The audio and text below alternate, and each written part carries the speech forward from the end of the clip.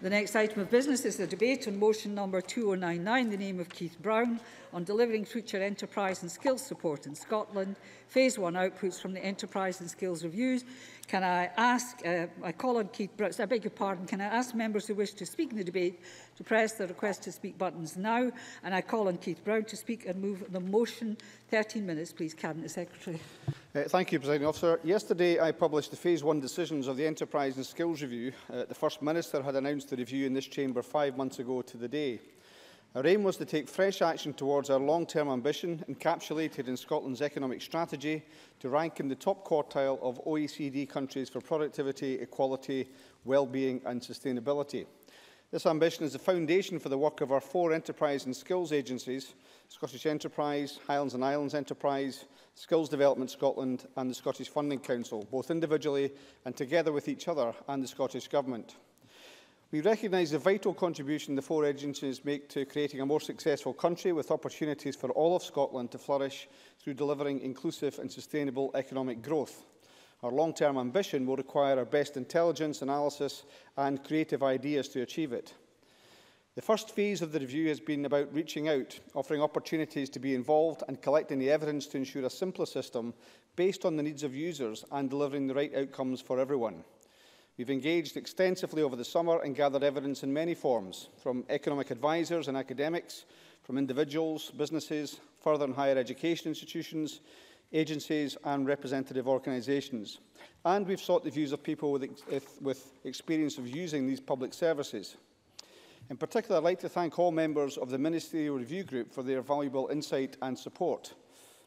We also looked again at Audit Scotland reports and Graham Reid's report into innovation centres hot off the press. For my part, I was very encouraged by the high level of engagement with our national ambition and the quality and the wide range of responses from individuals, businesses and organisations with good ideas about how best to come together to achieve our ambitions, and I'd wish to thank all those who have engaged so far.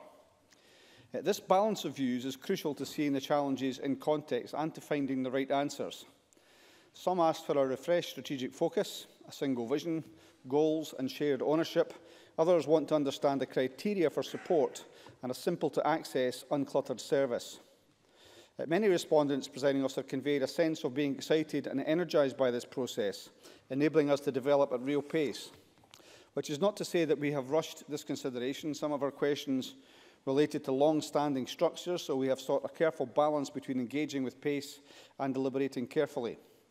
Uh, last month, I announced that the review will proceed in two phases – Yesterday, we announced our top-level actions and those areas where work is ongoing or further consultation is required. And we do want to work with others across the Chamber and across Scotland. Interestingly, one of the major points made by the various business organisations on the Ministerial Review Group was to see some political consensus to get behind what was subsequently agreed. So we want to work with others across the Chamber in order to change that or make that transformational change in Scotland's economic performance. We also want to reinvigorate our focus and place our ambition firmly within the context of Scotland's economic strategy. So we seek to create an enterprise and skills system with strong leadership aligned closely behind our common purpose and meet the needs of the end users of these services. The excellent work of our agencies uh, already do much of this work. The agencies and their staff already carry out that work on our, uh, behalf of a diverse range of individuals and businesses across Scotland. As Audit Scotland noted, they've been successful in their respective roles with clear strategies and with good governance. The enterprise agencies, for example, collectively work with or assist around 11,200 businesses each year. And there are good examples of all of them working with partners to achieve a positive impact, such as creating jobs. However, we have to acknowledge that, good as they are, we need to step up our performance in order to achieve our ambition. And that level of challenge which we face has been increased exponentially with the EU referendum result, creating a new context that requires fresh urgency.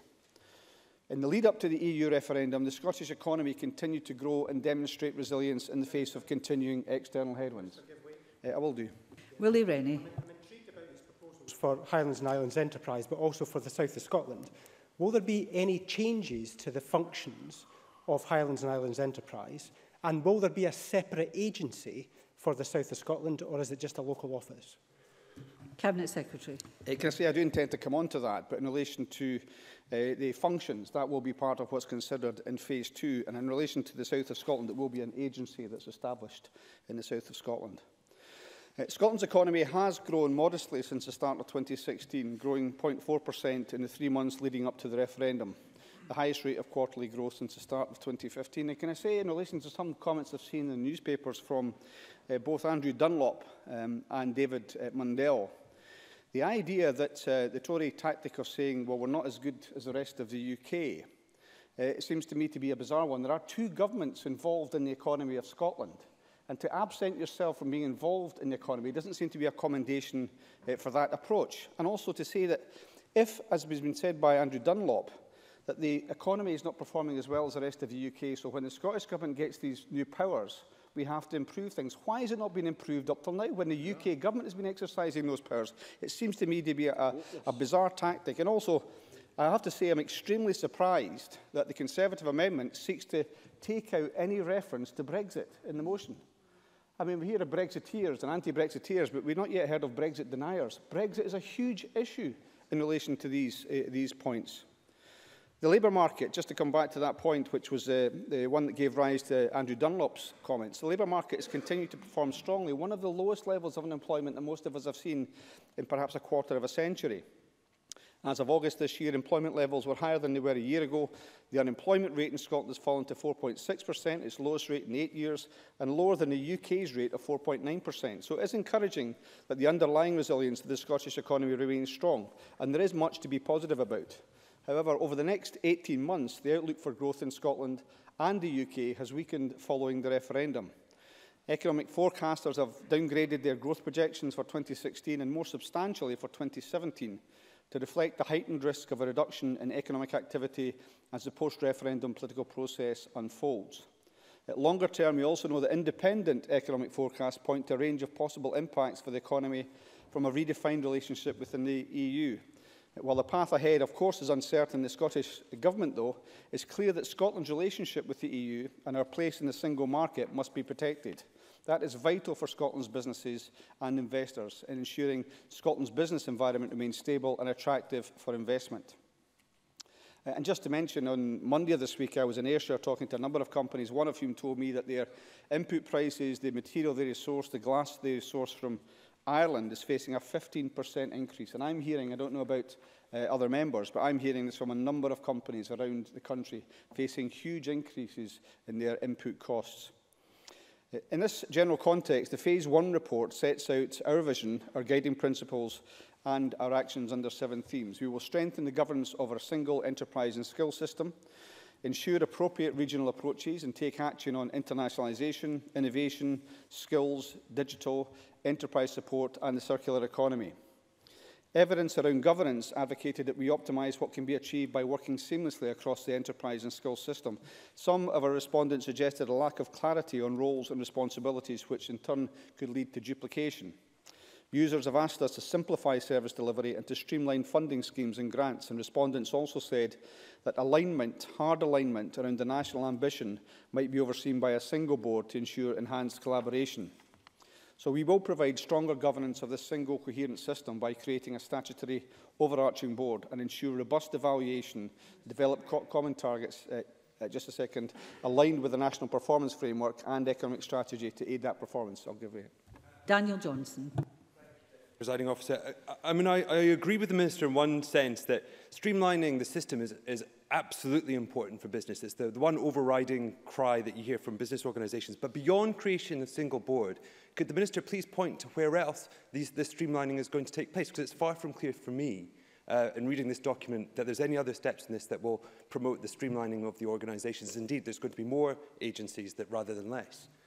Cabinet uh, Secretary. No, I don't think that's the case, not least by uh, uh, creating one single overarching board. Um, it's also true to say, if you do read the document, you'll see that the issue of decluttering, if you like, a, a fairly cluttered landscape just now will be taken forward in phase two. And he will know from the hustings that we both shared prior to the election, some of the exasperations which end users feel, and this is what this is trying to address. So Evidence on national and local uh, uh, basis noted that arrangements should respond to differing opportunities and challenges across Scotland and a one-size-fits-all approach is inflexible. Users have told us that services and funding uh, streams might be simplified and highlighted the particular needs facing dispersed populations, both in the Highlands and Islands and the south of Scotland. So we'll back our more national approach with enhanced regional skills delivery, two integrated sides of the same coin, and we'll protect levels of service provision in the Highlands and Islands, and also create a new vehicle, as I've mentioned, to meet the enterprise and skill need, skills needs of the south of Scotland.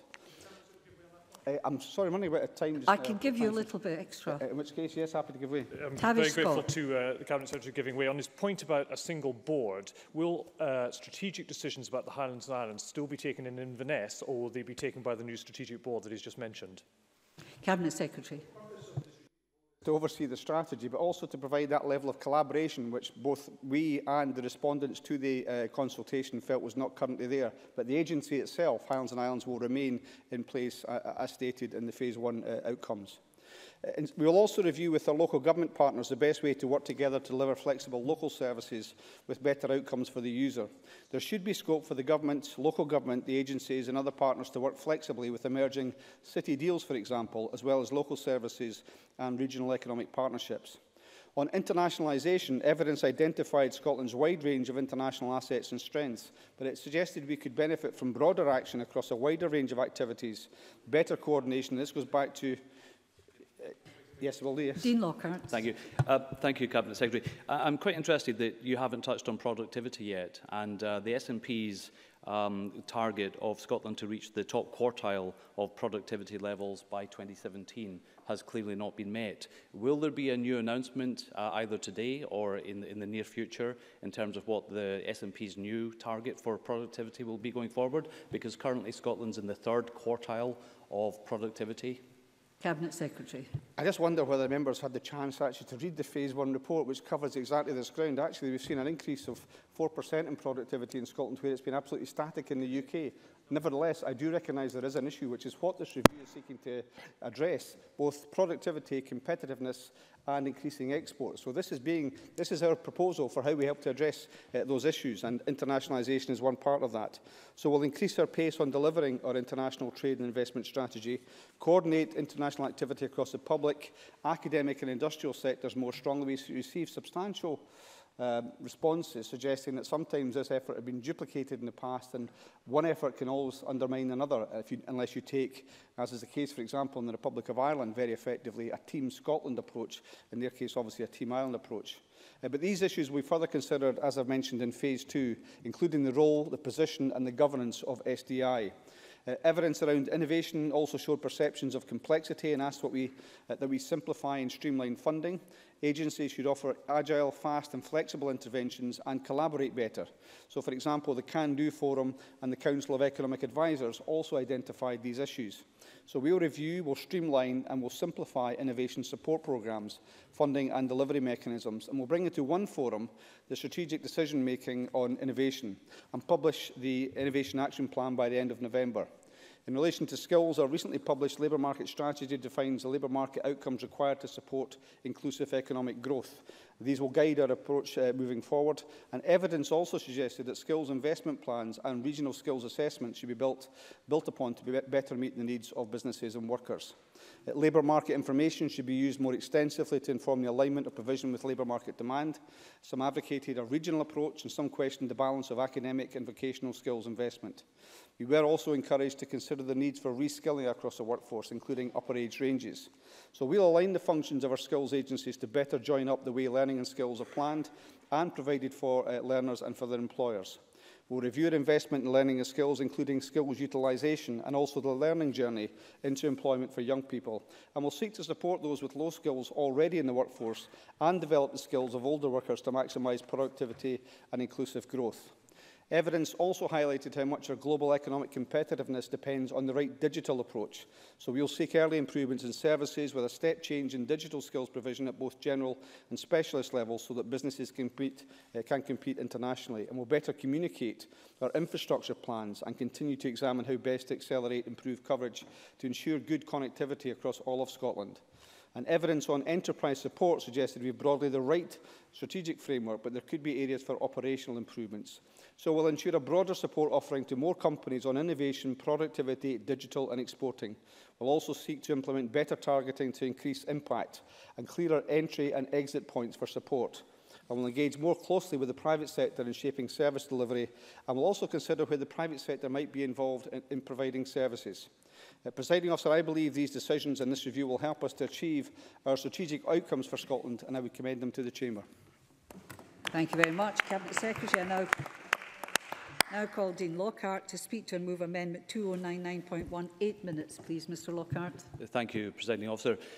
We welcome the opportunity to discuss the future enterprise and skills framework in Scotland, and we also welcome the Scottish Government's Phase 1 report in this area. In particular, it was good to see the report including a number of Scottish Conservative proposals, including the establishment of a new enterprise body for the south of Scotland and the much-needed expansion of the uh, Scottish Development International Network. After almost 10 years in power and with no new policy initiatives, it's not surprising that the SNP is now looking to the Scottish Conservatives for new ideas on the economy. It was also encouraging to see that so many organisations took part in the call for evidence, as Mr Brown said, over 300 responses to the review. There was one overarching point I think that was made very clear from the feedback, and that is that enterprise and skills policies should not be viewed in isolation. As CBI Scotland has highlighted, and indeed Mr Brown mentioned today, Scotland's long-term economic plan needs to involve a joined-up approach between the Scottish Government's economic strategy on the one hand and the work of the enterprise and the skills agencies on, on the other. This point was also made clear by Audit Scotland, which said that the enterprise bodies are performing well, but the Scottish Government needs a clearer plan for delivering its economic strategy. Presiding officer, this feedback reflects what the Scottish Conservatives have been saying for a number of years, that this, the SNP's economic policy is not working for Scotland. It has become increasingly clear that the SNP's economic development strategy, based on the four I's, inclusive growth, innovation, internationalisation and investment, as reaffirmed by the Cabinet Secretary in this report, is not proving effective. For example, if you look at inclusive growth, the policy, There has, in fact, been very little growth in the Scottish economy in the past year, or indeed in the past decade. The latest GDP figures released two weeks ago show that the Scottish economy has expanded by only 0.7% in the past year, compared to 2.1% in the rest of the UK. Yes, yeah, sure. Cabinet Secretary. Uh, can I thank Dean Lockhart for taking the intervention? And just to refer back to the previous point I made and the point that he just made, does he recognise a responsibility on the part of the UK government in the situation that he describes? Or does he, like Andrew Dunlop and David Mundell, always want to put it to the Scottish government, forgetting the role they're meant to have, the Conservatives, the UK government, in the Scottish economy?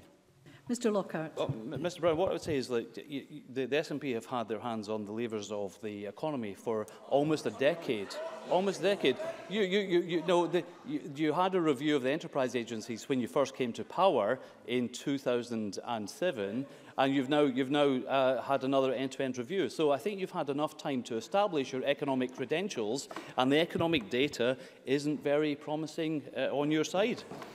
So this... Um, this increasing economic divergence compared to the rest of the UK, because of the additional powers requested by the SNP, will have a direct impact on the Scottish budget and the amounts available to spend on education, enterprise and skills agencies and other elements of economic development going forward. And the other area I would highlight is innovation and productivity. The SNP has failed to meet its target for Scotland to reach the top quartile of productivity levels of OECD nations by 2017. And I asked Mr Brown, when will a new performance target be announced? Because according to Scottish Enterprise, if Scotland's productivity matched countries in the top quartile, as set out in your target, Scotland's GDP would be boosted by £45 billion a year. That is an economic uh, gain that is a multiple of any potential downside of Brexit. £45 billion a year if you had met your target. So can I ask the Cabinet Secretary, when will the SNP and perhaps the Minister will, in wrapping up, will tell us when a new productivity target for Scotland will be announced. Presiding officer, given these failures in economic and business development policies, I call on the SNP to include in phase two of the report a detailed assessment of how it will address these ongoing economic policy failures and also set out specific steps to increase economic growth in Scotland and productivity in the Scottish economy. I think you've had the chance to do the Phase 1 report. I think it's now time in the Phase 2 report to have a more fundamental look at the Scottish economy and how you can boost uh, economic performance in the Scottish economy. Uh, Presiding officer, turning to the, the detailed recommendations set out in the Phase 1 report, we do agree with a number of the recommendations. Uh, we do have some concern that the proposed new Board of Trade may lead to further centralisation of economic policy, and we'll be monitoring how that will work in practice. Uh, we would also go further than some of the steps suggested by the SNP in order to meet the challenges faced by the Scottish economy. On enterprise policy, for example, our priorities are as follows. We need to simplify the enterprise support available for new and expanding businesses in Scotland.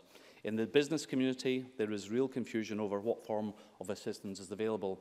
In the Economy Committee yesterday, we, we heard that there is over 600 funding streams available to businesses in Scotland.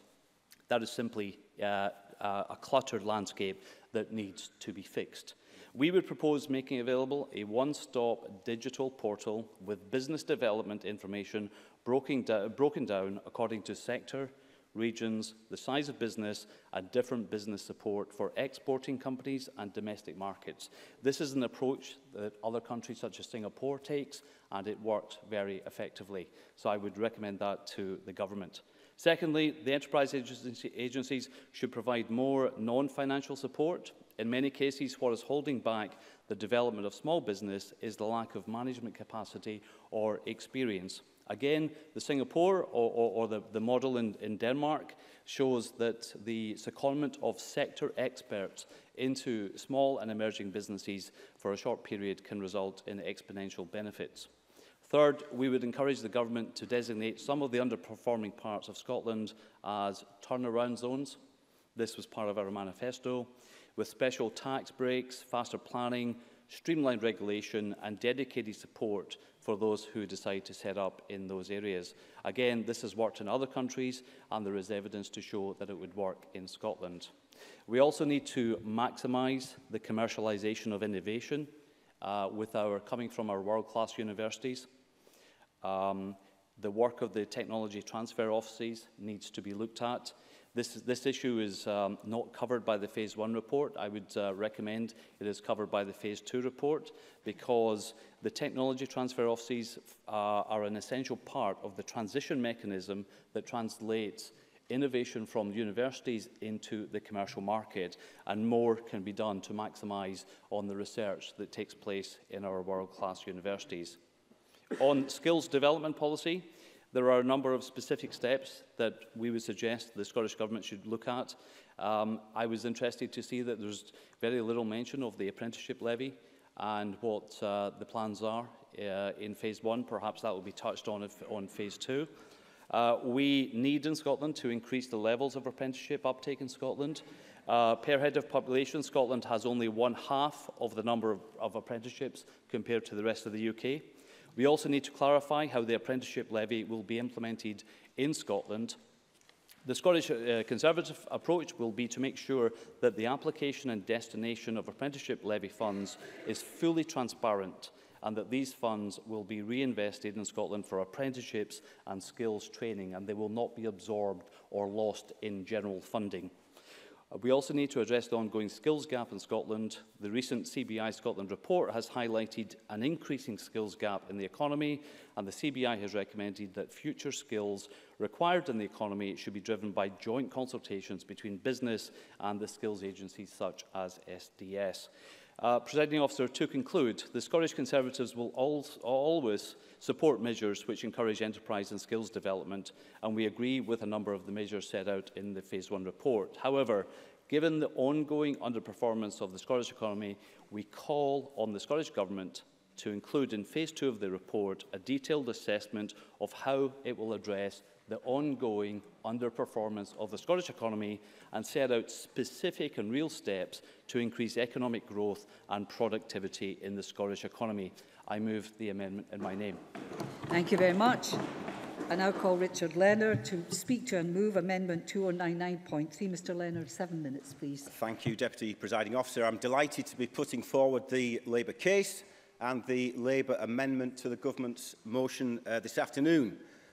And I want to begin, uh, and I shall end, with the recent Audit Scotland report into Scottish enterprise and Highlands and Islands enterprise because it reminds us, and I think this Parliament needs to be reminded, that between 2008 and 2015, the very years that our economy needed additional support, not less, the National Enterprise Agencies of Scotland had their budgets drastically cut. For Scottish Enterprise, for Scottish Enterprise, it was a cut of 16%, 16% in real terms. For the Highlands and Islands Enterprise, the core operational budget of High was cut by 22%, nearly a quarter, over that same time period, according to Audit Scotland.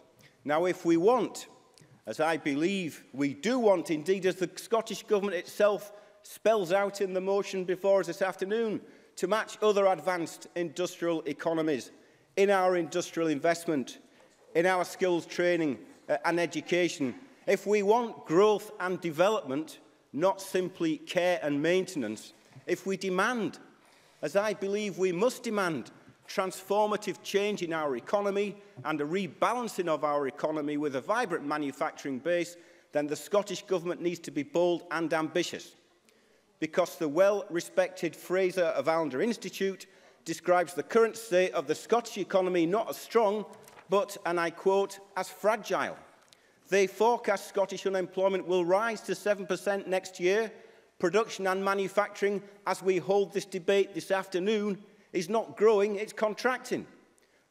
Business investment, as measured by gross fixed capital formation, fell by 4% in the first quarter of 2016. That's according to the Scottish Government's own figures. and that's before Brexit. So with an already shrinking productive base, a downturn in industrial investment, with real unemployment already at 12%, with Brexit looming, this is no time. This is no time for business as usual, for timidity and tinkering with governance. This is not the occasion for postponing the real change we need, quite the opposite. It is precisely the moment for getting on with the real change that we need. We needed a, uh, we need a debate, but it needs to be a fundamental debate on our whole approach to economic development, training and education. We need a discussion, but we need an honest discussion about whether the current institutional framework is capable, capable of delivering the industrial strategy we need. Because I say this to the Cabinet Secretary, we heard the First Minister announce to her party's conference a plan to double the number of staff pursuing inward investment to send out trade envoys from this new Scottish Board of Trade and to open up a new Scottish office in Berlin, which is, we suspect, necessary but by no means sufficient for the Brexit challenge we face. So I say this to the Cabinet Secretary, it's high time we started building up our indigenous business base, especially in high value, high skill manufacturing industry. It is high time that we started developing the untapped potential for cooperative ownership growth in Scotland. The home of Robert Owen and the Fenwick Weavers should set itself the noble ambition of becoming a cooperative capital once more, the Mondragon of the North. It is high time. It's high time we started to consider the innovative role which workers' pension funds, including public sector pension funds, could play in starting to advance popular economic ownership and control, it is high time too that we seriously consider the case for greater public ownership of public transport, of renewable energy, of local government services and nationally organised services like the work programme. I would go further and say to the Cabinet Secretary that it is high time, as part of a coherent strategy for industry, that he started to look at new economic planning agreements and public equity stakes to stimulate the wider economy too, because I am firmly of the view that change will not come about if we simply leave it to the market. It requires government leadership. It demands a considered, coherent, credible industrial policy and strategy, and that policy and strategy needs to lie at the heart of the Scottish Government, not as an afterthought. It demands a long-term vision of what we want our economy to look like in 20 years' time, because the change we need will not happen overnight, but we need to make a start now to make progress in the right direction. And that's why I have to say, Deputy Presiding Officer, I shudder a little bit, maybe only a little bit, but I shudder, shudder a little bit when the Cabinet Secretary says in his foreword to the Enterprise and Skills Review that we need to be, and I quote him, cost effective. It's a phrase, of course, which he has used before. When he was the Transport Minister in 2014, he described Abellio as the least expensive but most cost-effective bid to take over ScotRail.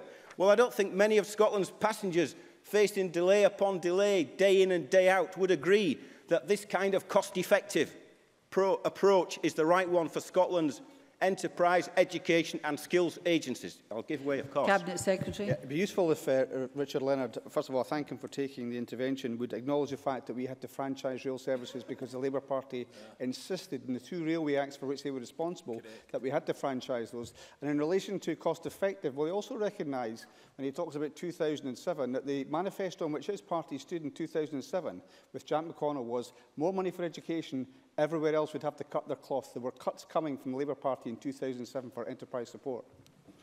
Mr Leonard. Um, well, um, I wasn't around in 2007. I don't know what they... I, I, I, don't I don't know what they, I don't know what Jack McConnell's draft budget plans were, um, uh, cabinet secretary. Uh, but what I can but what I can tell you is this: in the teeth of the economic crisis that we've been facing for the last five years, surely the right thing to do is to put more money into economic development, not take it out of economic uh, development. So we should be building up, not talk, taking down uh, Scottish Enterprises' industrial knowledge base. We should be building up, not taking down its strategic role, whilst recognising the importance of subnational structures like City Deal and the challenges now facing not just the south of Scotland, but the northeast of Scotland as well. And so we argue that we should be establishing proactive sectoral advisory groups in place of reactive task forces that bring together trade unions and employers to help inform that industrial policy making and the real investment strategy that we need uh, to go with it. So let me finish with this. Just as we support the government in its call, and I quote, for the robust evaluation of activity and impact of our enterprise and skills support agencies, I, in turn, I hope that the government will support us in our call for Audit Scotland's recommendations to be adopted so that the Scottish Government itself sets out its own economic action plan its own clear targets and timescales and is prepared to set out progress against its own stated economic priorities. That would be real progress. I hope that's progress we can make this afternoon. I move the Labour amendment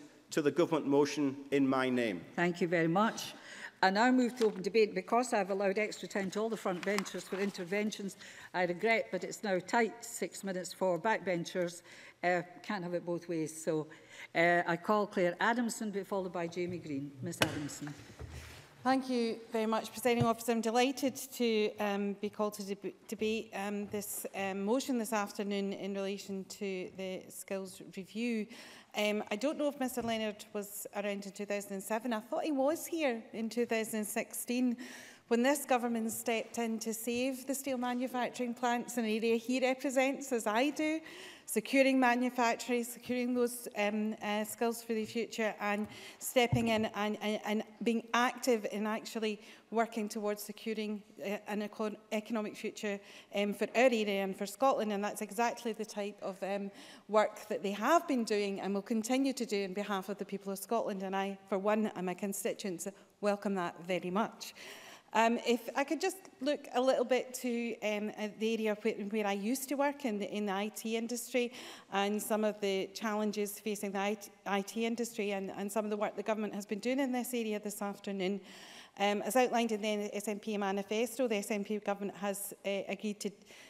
develop and implement a Scottish STEM strategy to ensure that the From the earliest stage children are alive to the opportunities that science and technology, engineering and maths can offer them.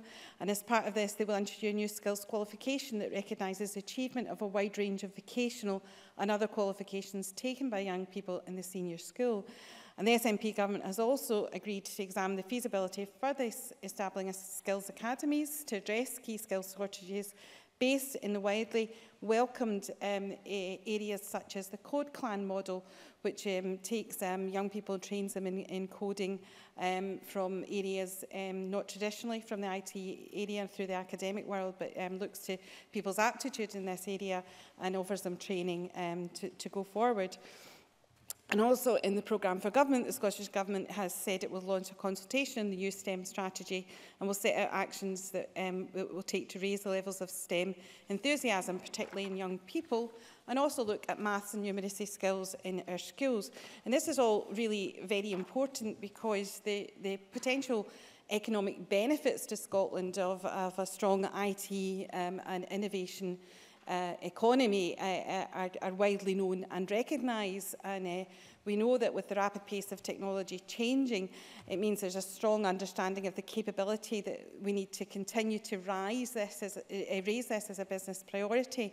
Um, the British Computer Society recently published research to show that the number of people required in IT and digital roles will have increased at a rate of five times faster than in other industries by 20 20. And I think this is an area where the Scottish Government has shown commitment, but its support of Codebase and other uh, organisations such that, and will continue to do so. Um, the BCS has also recently um, uh, reacted to the Brexit situation uh, and said that vital support is required for a science and engineering education and research ecosystem if we continue to succeed in a global economy following the vote to leave the EU. E and I, I think this is hugely important that we cannot ignore Brexit. We cannot pretend Brexit is not going to happen and we cannot uh, sort of downplay what a devastating impact that this could have on our economy if we don't get the right um, deal in place for Scotland going forward.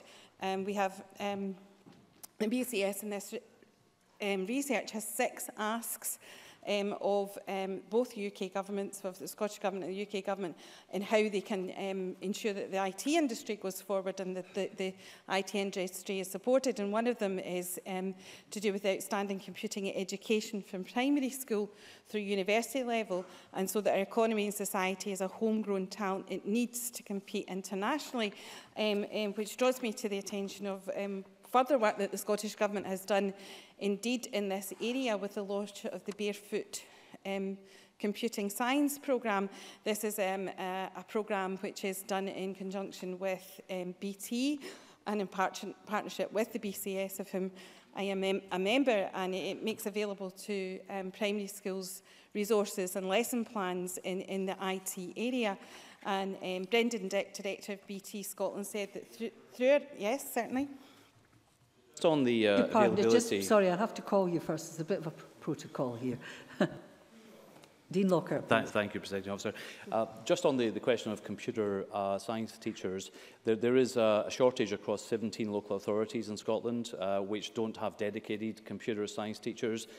Is that not a concern that, um, in terms of skills uh, development going forwards, is that not a concern the government should be focusing on?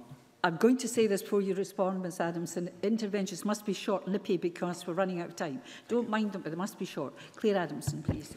Well, eh, I'm sure uh, there's IT skill shortages in all areas, not just in education, and that's one of the reasons why we have to be working with our young people and encouraging more people to come forward to have a career in IT at any level. And I think that, um, as, as um, Brendan Dick, Director of BT, was saying, Through our education engagement work, we know that primary school children enjoy computer science and that thinking skills they can gain help them in other subjects. And I think this is really important from my point of view, is that when we are educating and we're building on these areas, we want to develop skills that will be lifetime for people. And I think that, you know, the, the analysis and the, and the um,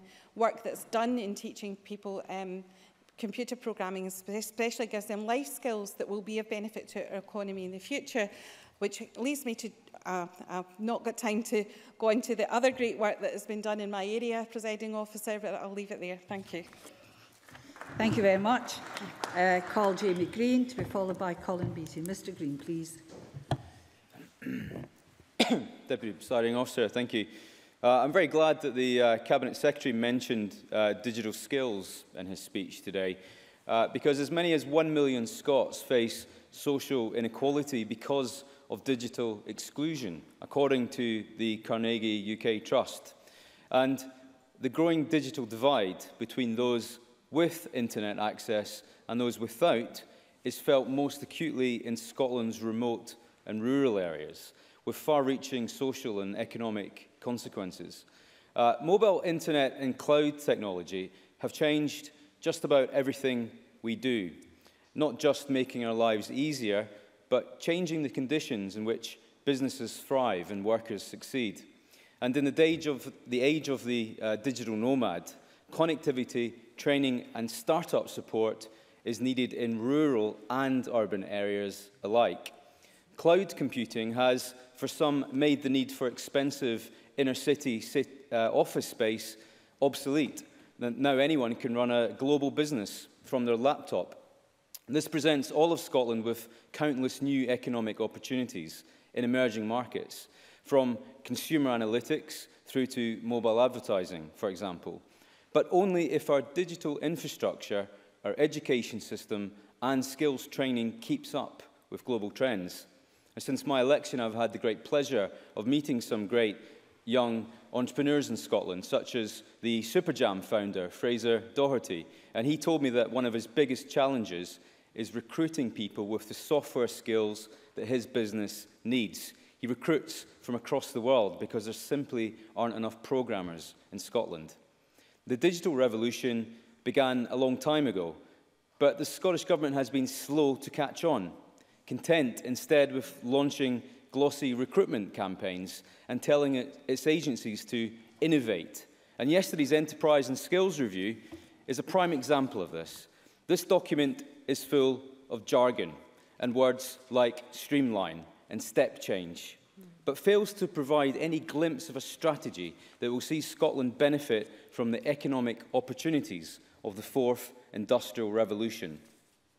Reading this report, it seems that the Scottish Government is simply stalling for time rather than spelling out the practical steps that they need to take. This document talks about innovation, and I quote from it.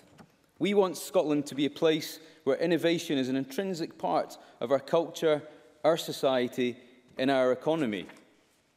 Yet, one of my constituents came to a surgery, surgery recently and told me that he's perpetually frustrated by the government's lack of support in helping inventors, for example, in Scotland. This document talks about skills provision, but how can we raise up a workforce of tomorrow when 17% of Scottish schools have no computing specialist whatsoever? And 30% of Scots still lack basic digital skills. My colleague referred to the lack of computing science teachers in Scotland. This is a really important matter. How can we attract new businesses? I uh, will.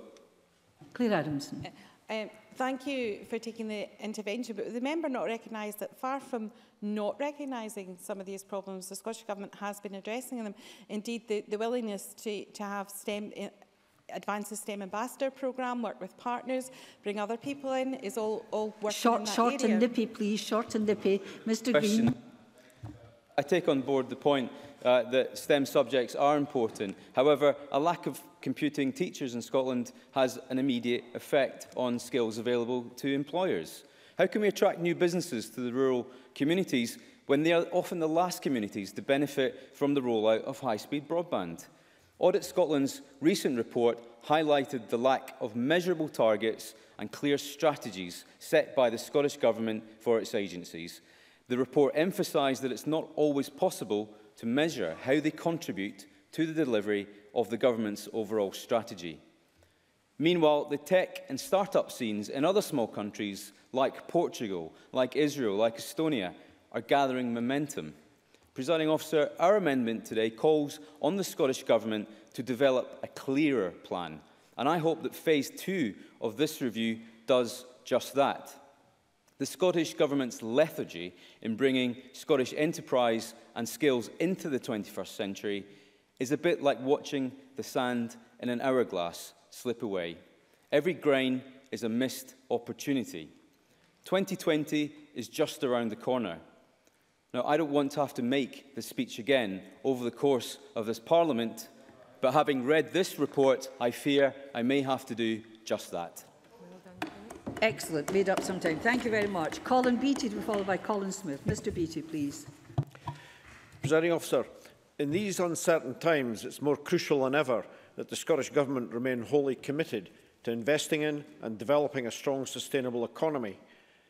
committed to increasing business-driven innovation and our international competitiveness while reducing inequality. For these reasons, I'm pleased to see the official results of the Government's end-to-end -end review of the enterprise and skill bodies which, based on the consultations that have already taken place, promises an increasingly bright future for Scotland and its people. I think everybody in the Chamber might agree with me when I say that we are fortunate indeed that this review was planned before the EU referendum took place. This allowed us to focus efforts not only on pre-existing challenges within enterprise and skill agencies, but specifically on the new context and emerging challenges that have resulted from the referendum. That being said, there are clear areas where we've already made great strides forward, areas where I know we'll continue to progress as a result of this assessment. For example, the creation of new Scotland-wide statutory board to coordinate the activities of HIE and SE, including SDI, SDS and the SFC, promises to make the actions of each of these organisations more effective and efficient. In addition to the report released today, uh, sorry, yesterday, I've read through a large portion of the responses to the Government's formal call for evidence and the learning journey workshops and interviews that were commissioned. And there were many, many constructive suggestions arising from first-hand experiences with Skills Development Scotland and the various other agencies. These insights will allow us to continue to build on what we already know works well inside these agencies and will help us to achieve the step change needed in Scotland's economic performance. From what I've seen before and during this evaluation, we've done a very good job identifying areas where we need to improve our performance, and then, in targeting these areas, using the results of this end-to-end -end review, we'll be able to hone those approaches to skills development which have been successful, and we'll be able to develop new strategies to combat developing challenges in the sector, especially those currently arising from Brexit. There is a clear correlation established between the amount a country invests in research and development and the subsequent success of that country's economy. Historically, Scotland has lagged behind in the amount that private businesses invested in R&D. However, we have increased our expenditure on R&D by 44% between 2007 and 2014, from 629 million to 905 million, and that's compared with a 10% increase in the UK. Scotland's already got one of the highest rates of spend on higher education research and development in the OECD. What's more, we've increased our international exports by over 17% since 2010, with over £27 billion in exports every year. Total food and drink manufacturing exports increased by 3.4 billion, an increase of 63% between 2002 and 2014.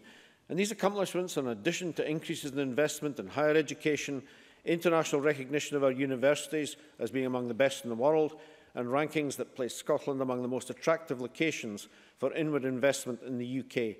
And I think the point here is we know what we need to do on a national level as set out by the four eyes in Scotland's economic strategy, investment, innovation, inclusive growth and internationalisation.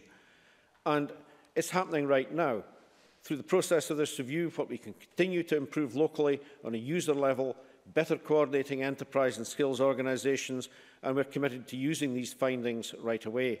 In essence, we're leveraging all of our devolved powers to improve each aspect of Scotland's economy from the inside out, and this even includes those parts of our economy that are already outperforming international benchmarks. The Scottish Government introduced the most competitive business rate scheme in the UK, investing billions of pounds in Scotland's infrastructure, established the curriculum of excellence in, uh, in our schools, and expanded the level of funded childcare to help those with young children participate more fully in the labour market. They've committed to creating tens of thousands of new modern apprenticeships every year, established a new innovation forum and built the Scottish Business Development Bank from the ground up. The actions outlined in yesterday's report promise more of the same success.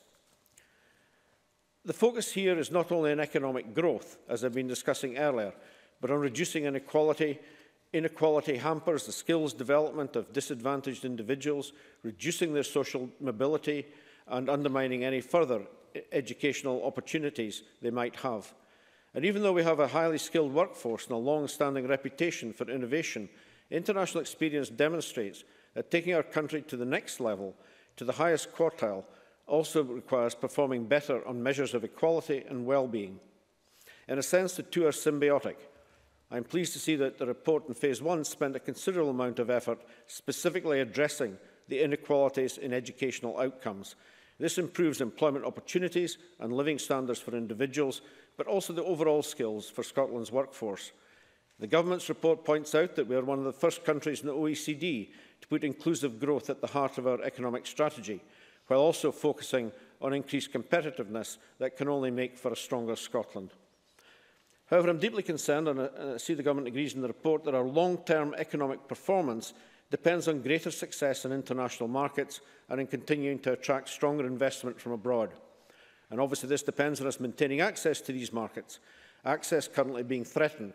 The recent events stemming from the EU referendum put the future expansion of our burgeoning international trade at considerable risk. I look forward to seeing the actions that are reported in phase one being implemented and commend those involved in producing yesterday's report on their excellent work. I call on Colin Smith to be followed by Willie Rennie. Thank you, Deputy Presiding Officer. Can I refer members to my register of interest and the fact I'm a councillor in Dumfries and Galloway where I chair the Economy Committee and I also chair the South of Scotland Alliance. As the Cabinet Secretary said in his opening speech, our enterprise and skills agencies do make an important contribution to our economy and the impact on all or constituencies. Last week alone, I met with a company in my constituency or account managed by Scottish Enterprise. I spoke with young people on a training programme provided by Skills Development Scotland, and I visited Dumfries and Galloway College funded by the Scottish Funding Council.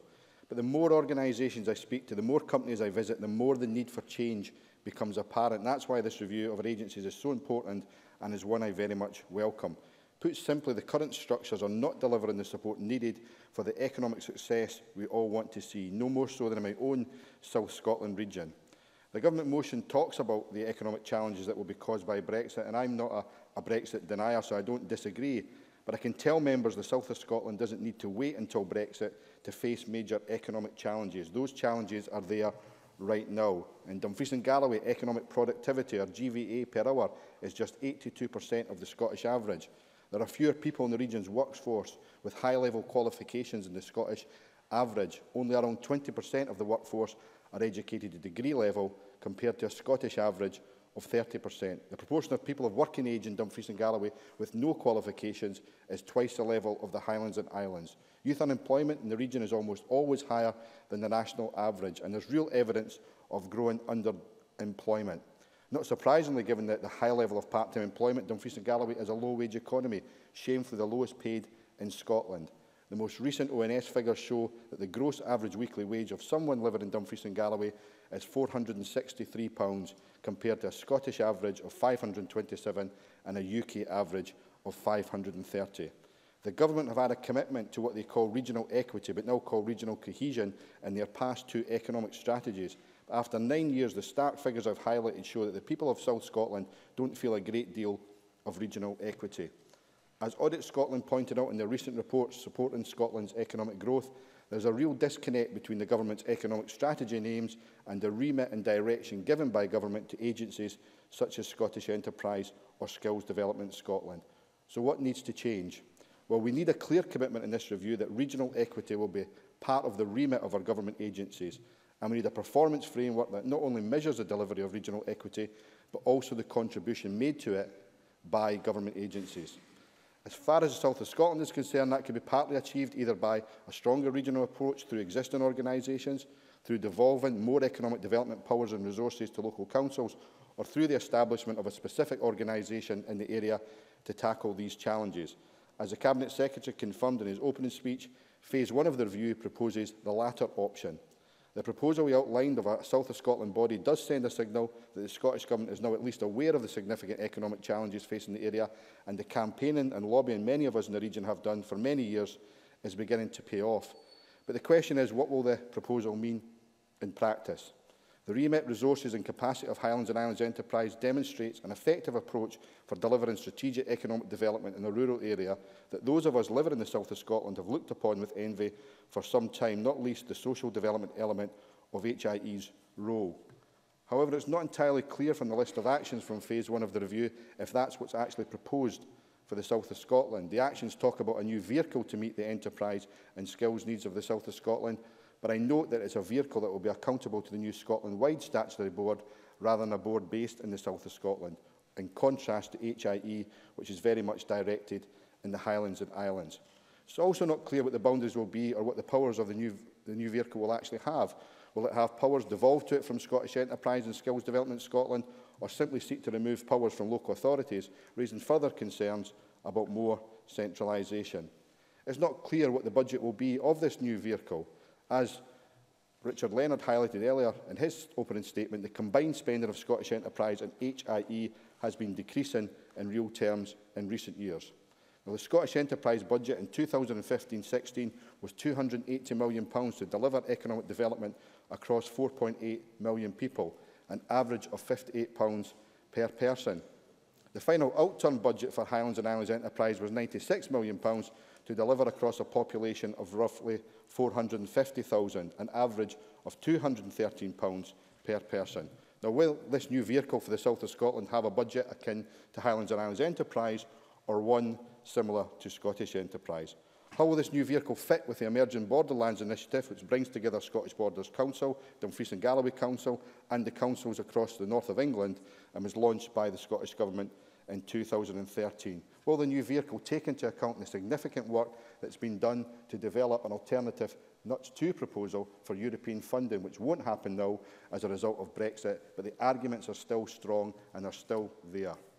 I appreciate the Cabinet Secretary is likely to tell me this will all come up in the wash, which is phase two. So I hope when someone up today, the Minister will outline in, a more, in more detail the process that will actually be followed to develop the emergent actions from phase one, and crucially, what exactly are the timescales that are there for the completion of this work. The clock is ticking when it comes to economic challenges being faced by my constituents. I hope we won't have to wait too long for an economic strategy that at long last delivers real regional equity for the people of South Scotland. Willie Rennie, followed by Ivan McKee. Uh, thank you, Deputy Presiding Officer. Um, I think we can all agree, probably bar a few Conservatives who now wish to deny it, but that the exit from the European Union will have a significant impact on our economy, which is essential, therefore, that we have robust enterprise structures to support and meet that challenge. Um, I think we need to make sure that we face off the immediate challenges that we're facing over Brexit, the first of which has been the change in the value of the pound, which is having a direct impact on our economy, some positive aspects, but some serious negative impacts too. Um, but we also need to think about the longer investment decisions that are about to be made by companies right across the country, which again is why we need robust structures to support and advise these companies as they attempt to address those challenges. Um, the motion today does address uh, and does mention um, equality and well-being. And I, I actually recall Colin Beattie also talking about inequality, but again, the, the rhetoric doesn't really match with the action. I have raised on a number of occasions uh, my concerns about the receipt of government grants for companies like Amazon who pay below the living wage. And although there is some oblique reference in the report um, yesterday, there is no direct proposal um, which would lead to the refusal of grants to companies like Amazon for paying below the living wage. Now, I hope this comes in the later report um, because the last time I raised it in this chamber with the First Minister, she said she would take firm action. And I think the firm action was that she sent Rosanna Cunningham off to see Amazon uh, to have a cup of tea. And th that cup of tea resulted in them recruiting um, lots of more workers at Amazon, also paid below the living wage. So I don't think we should send Rosanna Cunningham to Amazon anymore if that is the action that we're going to receive threats of cups of tea with Rosanna Cunningham are clearly not enough uh, for Amazon to take uh, firmer action. But I would like to see the government institute a rule which says that they will not pay regional selective assistance or government enterprise grants to companies who do not pay the proper living wage as advocated by the government. That would then, I think, match rhetoric with action. Um, the second area, and the Minister will forgive me for being sceptical about this, because I think he gave part of it away when he talked about reviewing the functions of the various agencies um, in the next report. Um, he said that Highlands and Islands Enterprise will remain. He said there will be a new agency, he called it, not just a vehicle, but an agency for the south of Scotland, but then proceeded to say, well, we're not actually sure what they're going to do. We're going to review the functions in the next report. So forgive me for being sceptical, because we know this government's track record. We know it wants to regionalise education uh, governance. We know that it wants um, to change the health boards. We've seen what it's done with the police, and I suspect it wants to do exactly the same with the enterprise agencies. Colin Smith has already alerted us to the fact that this new South of Scotland vehicle or agency will be directly accountable to the national agency. The tendency here from this government is to hoover up powers into the centre, not to recognise local need and variation, but to control things from the centre. That is the tendency, and I suspect if the alarm bells were not raised at an earlier stage, we would now be seeing the end of Highlands and Islands enterprise. And thank goodness that somebody had the gumption to raise concerns about the government's proposals on that because it would have been a backward step if they had abolished Highlands and Islands enterprise. So I want to see the government come forward with serious proposals in the next stage of its report to properly devolve powers right down into these agencies. I just don't want to see Highlands and Islands enterprise remaining with the same powers. I wanted to have more powers. I want the south of Scotland to have real, meaningful enterprise powers. And it is ironic that nine years after this government abolished support for the south of Scotland, that it's trying to create a virtue out of recreating something that it only abolished a few years ago, certainly. Keith Brown. Can I thank Willie Rennie for taking intervention? I wonder if you'd like to comment on the track record of the Liberal Democrats when they were in control in Scotland and they didn't create the agencies or the additional powers that he's talking about and massively ring-fenced the expenditure which local government could spend. Seems that he's saying one thing now, but he didn't say that back in the day. Willie look, Rennie. Look, just because this government removed ring fencing from local government doesn't absolve it of all responsibility and action of even ever since. That seems to be the argument from this government. This party has got a very strong record. We have in fact advocated that we should be creating regional development banks in local areas to make sure that we can drive local economies at a local basis, working properly in partnership with local councils. I'm afraid this government cannot wipe away its record of the last few years. It cannot simply try to create a virtue of something that it abolished only a few years ago. But if it does want to praise the record of the Liberal Democrats, perhaps it could praise the work of Danny Alexander, who led the way on creating the city deals in places like Glasgow and Aberdeen and Inverness. And they scoff, but the reality was that Danny Alexander was the leader, the pioneer in creating those city deals. He drove it forward against a rather reluctant SNP government's wishes. At the time, they were just dragged to the table rather than being active participants in it. And I now want to see those city deals being meaningful city deals, because that is the way that we can drive real change in the cities across Scotland. Thank you. Ivan McKee to be followed by Jeremy Balfour. Uh, thank you. Presiding officer, the success of Scotland's economy and hence our ability to fund high quality public services now and in the future will depend on the ability of our businesses to survive and thrive both at home and in export markets around the world. Government undoubtedly has a key role to play in supporting that success. The market on its own can only do so much. Getting the form and the focus of that government support right is critical to economic success, to inclusive growth and to fostering innovation and entrepreneurialism and to enabling us to build the kind of society we all want to see. I therefore welcome the government's review of enterprise agencies considering how best to align the various organisations that currently occupy that space to ensure the most effective, efficient and flexible support for business growth. And it's important that we do not set our sights too low. I've spoken in this chamber in the past about ambition, the ambition of our young people, of our communities and our national ambition for this country. Scotland has many inherent strengths in our natural resources and our human talent that many countries can only dream of. In so many sectors, we're extremely well placed to deliver now and in the economies of the future. The task of government through its agencies is to support Scotland's businesses to deliver on that potential, to realise that ambition, and by setting a national target of achieving top quartile OECD states in productivity, equality, well-being and sustainability, the Scottish Government shares those ambitions. I welcome the fact that the review process has been broad and wide-ranging taking evidence from more than 300 businesses, organisations and individuals. And I welcome that the review is proceeding in phases, allowing the structure to take shape, built on a solid foundation following dialogue with business. In the business world, change is a constant, continuous improvement of the structures and processes we use to deliver and perform is crucial to ongoing success in an ever-changing world. I also welcome the flexibility of recognising the dif different strengths and support needs of different parts of the country of the need to align national and local government support and private sector talents. The creation of an agency focused on the south of Scotland is an important step in that direction. It is, however, also right that an overarching strategic view is maintained at a national level to leverage scale and coordinate progress both at home and internationally.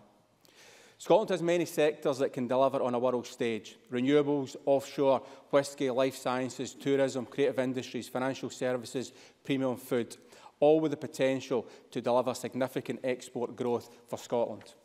And exporting is crucial for Scotland. Exploring and exploiting global markets is essential, but often challenging. The role of government agencies is probably even more important here than elsewhere. For small and medium-sized businesses, making the leap to international markets can be daunting. Soft support, practical advice and opening doors can make all the difference.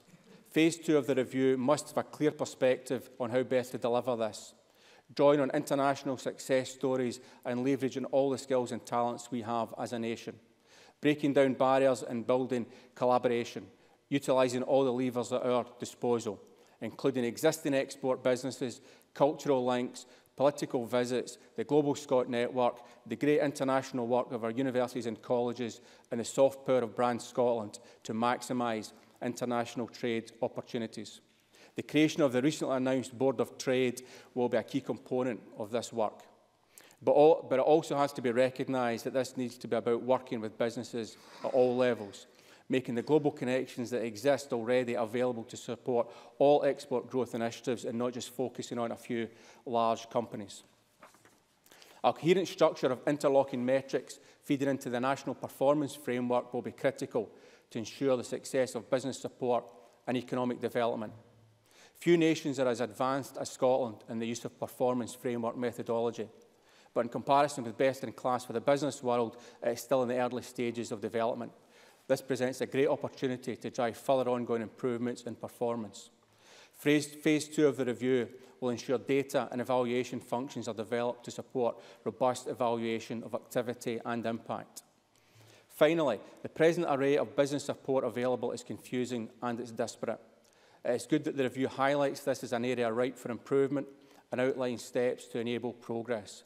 Businesses are too busy doing what they do best, building and growing, to take the time to shop around the wide variety of services currently on offer. Sure. Dean Lockhart. Thank you. Um, I, I, absolutely agree. The, um, the, landscape for public support for business is, is uh, very unclear, but the government's had 10 years to get this right. How much longer uh, does the SNP government need to, to get business support right for the country?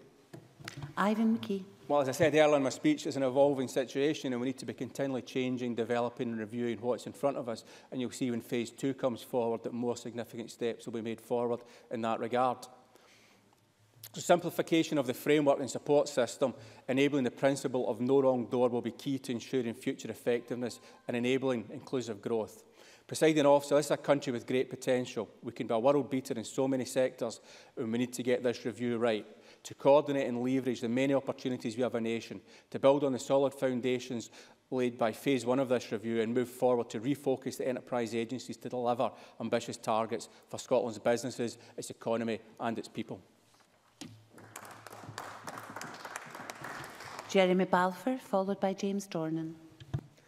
Presiding Officer, can I start by agreeing with the words of the Cabinet Secretary Keith Brown in his forward to the report, where he said that we can be justifiably proud of our enterprise and skill agencies, Scottish Enterprise, Highlands and Islands Enterprise, Skills Development Scotland and Scottish Funding Council in helping Scottish businesses to thrive and grow. This achievement is even more impressive when, according to Audit Scotland, the enterprise agency's poorly defined objectives have limited their effectiveness. Audit Scotland state the report recognises that economic growth is complex and concludes that this Scottish Government needs to be clear on how its economic strategy will be implemented. The Scottish economy has been suffering from a sturgeon slowdown – lagging the UK for the last six and a half years. Despite a shallower recession in Scotland, the recovery has been weaker than the UK and economic growth has been lagging behind the UK since 2009. Keith Brown. Can I thank uh, Jeremy Balfour for taking the intervention and on this uh, Sturgeon slowdown uh, slogan that he's developed, does he recognise, as his former colleague Gavin Brown did in this chamber, when he said most of the major levers in relation to the Scottish economy are wielded by the Westminster Government, or does he not? Jeremy Balfour. I think we simply have to look at the way that the economy is affected by yet again more talk about Scottish independence and the total uncertainty that gives to business and to other sectors within the economy. Growth has been mainly driven here in Scotland by construction, historically a volatile sector, although services have been picking up more recently. This contrasts with the rest of the UK economy, which has experienced broader growth across different sectors of the economy.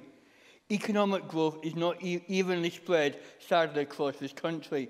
The north east of Scotland has grown at over double rate of, Eastern Scot of the East Scotland and jobs growth have been st stalling in Scotland under the SNP for over a decade.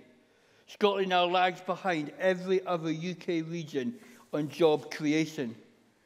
Data on economic growth and skills shortage pre-Brexit is shockingly bad for Scotland, and the SNP simply cannot hide behind the Brexit decision, which over 1 million Scots actually voted for.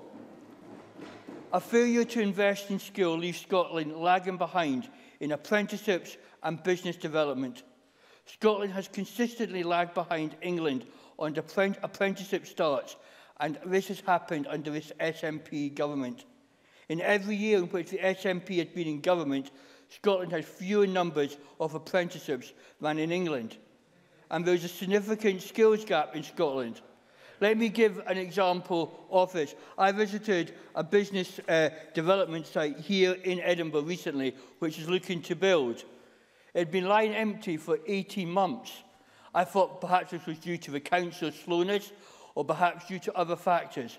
When talking to developer, the only reason the development hadn't started earlier was because there was a lack of apprentices coming out of colleges here in Scotland. We simply could not find local people to do local jobs. And yet, what does this government do? It cuts college places yet again, which means there's fewer people coming out of Scotland with those skills. Business confidence is lower here in Scotland than the rest of the UK. We need to deal with these issues quickly. Scotland's economy is suffering from a chronic skills shortage which the SNP have neglected to deal with. This SNP government needs to stop the blame game. Stop blaming Westminster. Yet again, the minister said that in his intervention and, and participate in a smooth and orderly exit from the EU that is in the interest not of a few, but in the whole of Scotland. We need to create an environment where business is confident to invest and grow and ensure we have a workforce equipped with the right skill to set out the most for the new opportunities that will face us in the years ahead. I'm very happy to support the amendment in my colleague's name. now move to the last of the open speeches, James Dornan. Presiding officer, um, again, is, it's like deja vu for yesterday. Uh, just before I move on to uh, what I'd like to say, every, every speech we had yesterday from the Conservative benches mentioned independence. It seems that there's a theme running through everything they say. They're either coming over or they're terrified. Uh, independence, I agree, is coming, but you know, let's concentrate on the day job for the time being, lads. Uh, as convener of the Education and Skills Committee, I would like to take a moment and speak on the efforts that the committee have done to address the issues of skills uh, so far this term. The committee has done some initial early work in the skills sector. We've rightly started by hearing from people with practical experience of training in various disciplines. Members have visited Stirling Community Enterprise in the summer. The visit highlighted the massive difference training in a discipline can make to someone's life who's previously been unemployed and struggled to find work. Trainees told us that they had felt they were treated with respect and importantly that their confidence had increased through the programmes at the enterprise. It was clear that attendance at SCE e provided these young men with much more than qualifications. It gave them a life structure. And without this structure, alcohol abuse, crime and imprisonment were mentioned as likely ways in which their life chances would be reduced.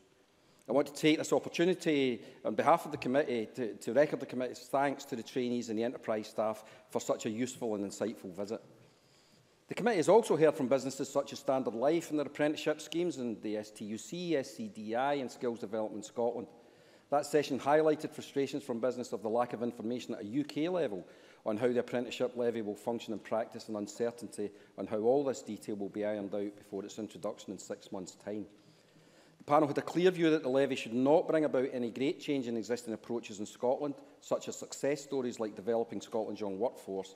Instead, new money should be concentrated on the existing programmes that are working effectively. Happily. Daniel Johnson. Thank you, Deputy Presiding Officer. I wonder if the member would also uh, agree with me that one of the other comments made at that was the importance of making sure that the apprenticeship system, the skills system,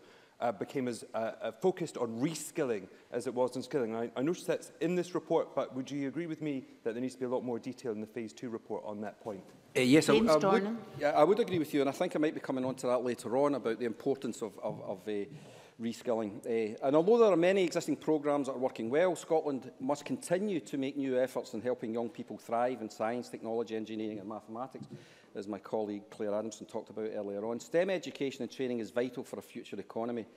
But Scotland must equip our young children with the education that is necessary to face environmental and economic challenges in the future. Research suggests that 65% of children in preschool today will work in jobs or careers that don't yet exist. Times are changing and our education must change to help face problems and sustainable resources and to continue economic prosperity.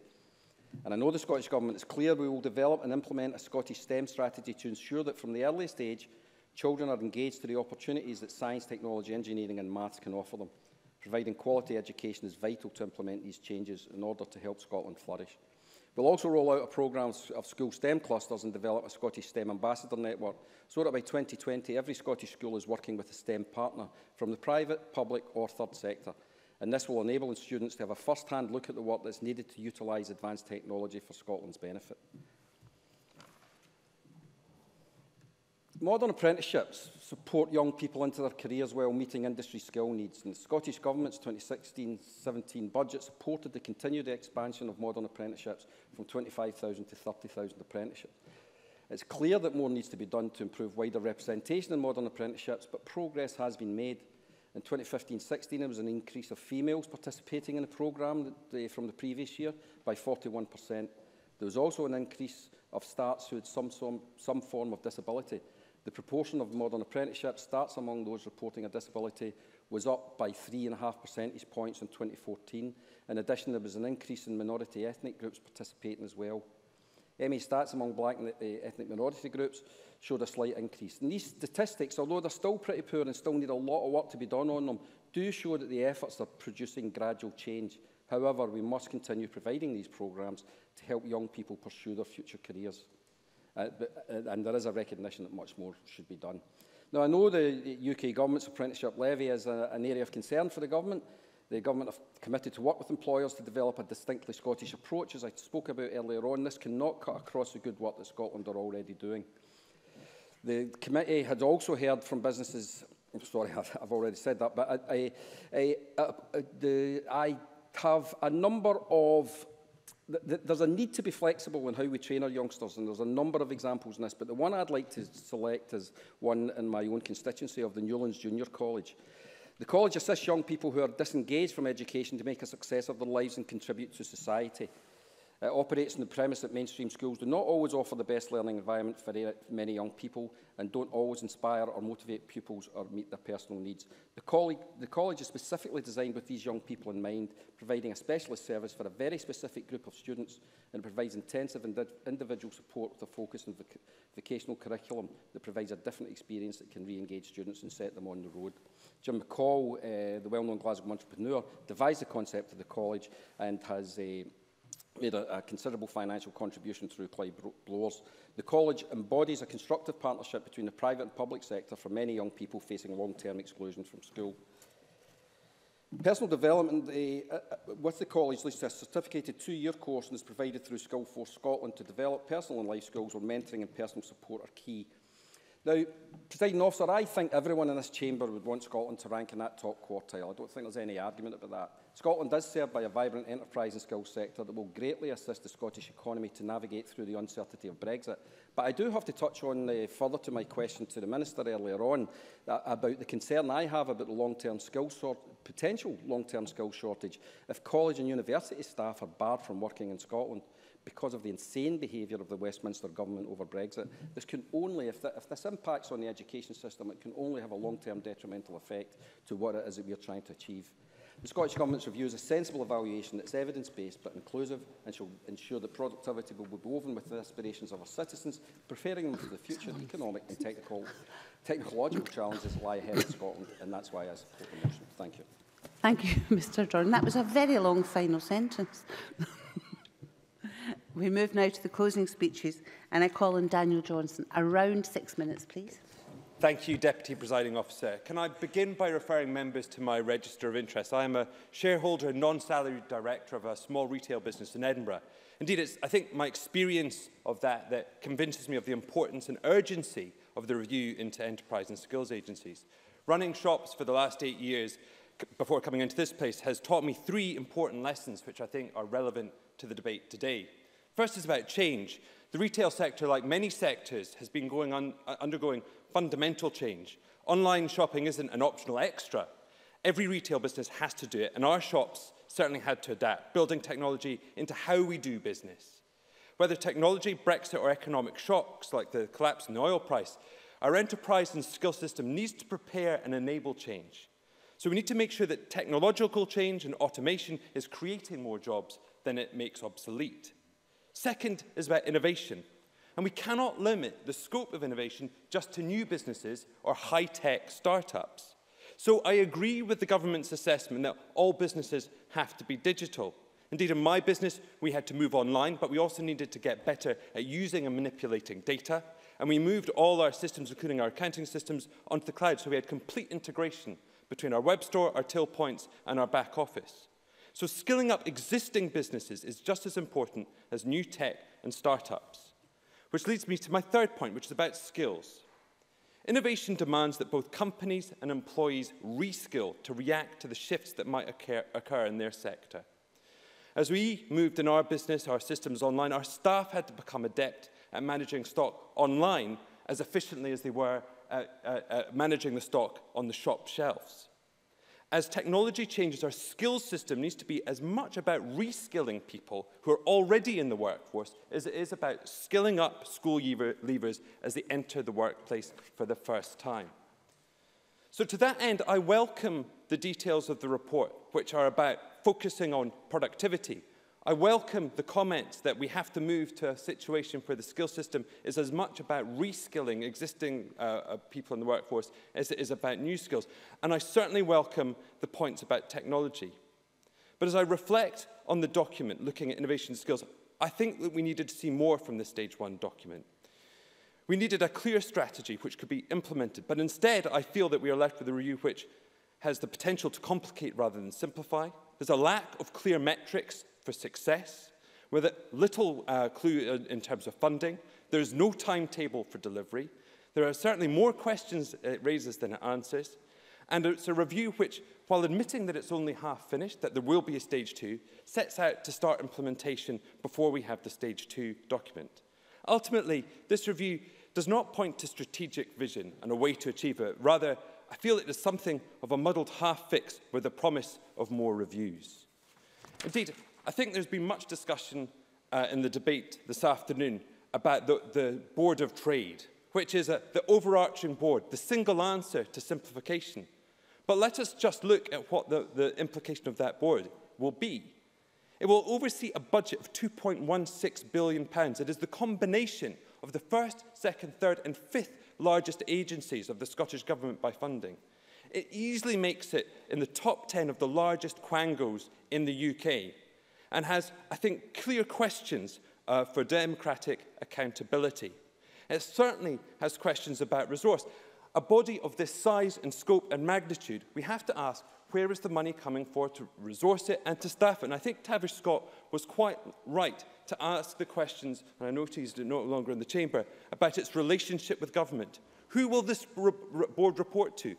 Will they be setting the budgets for the agencies for which they're responsible? Will they have the power of appointment of all the agencies that fall beneath them? Indeed, simplification is important, the report highlights. But so far in the report, all we un understand that the only answer to that simplification is the superquango. And I regret in some ways that the Liberal Democrat amendment wasn't taken, because I think the language of the superquango is useful in this debate. Unfortunately, we're going to have to wait till phase two, as Colin Smith pointed out, the wash, where we'll get the detail. Uh, but frankly, these details are important because matters such as the, uh, uh, the, the, the purpose and scope of the bodies such as the South of Scotland Agency and SDI will all uh, ultimately come out of the detail of this super uh, quango which will be created. I think Jamie Green and Jeremy Balfour and William Rennie were all right to point to the fact that we have little in the way of metrics and we have little in the way of timetable. And whether it's about the steps that we need to take in order to implement it, as Jamie Green pointed out, or actually the goals in terms of how will things such as enforcement of equity, pursuing things like the living wage through uh, the uh, companies which are helped by our agencies, uh, such as Amazon, we really have no answers at the moment. There are three things you need from any strategy. You need metrics. Uh, just a review of them is simply insufficient. We need to understand the resource behind this. We do not understand the funding which lies behind this review, and we, don't, we have no timetable. Without these three things, frankly, we have no strategy. And this is against a context where we know that there has been a 12% cut in enterprise agencies under this SNP Scottish Government. So, presiding officer, I know what the government is going to say what I've said. They're going to say, don't be so hasty. Just wait. All the answers will come in the phase two document. But that is not good enough because, frankly, we don't even know precisely the nature of that phase two. Is it a final report or is it merely a consultation for further work? Is it a series of hints and, and a save the date card? So the government is right about one thing. We do need a step change. That is the only way to achieve the top quartile ambitions that they set out. But in order to do that, we need a clear strategy that sets out clear goals.